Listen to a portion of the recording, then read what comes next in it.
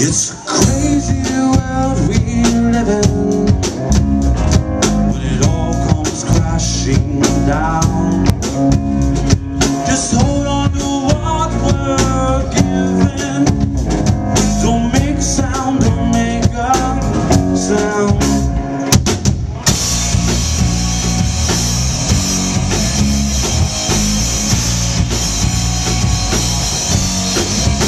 Is this the end or is this just the beginning?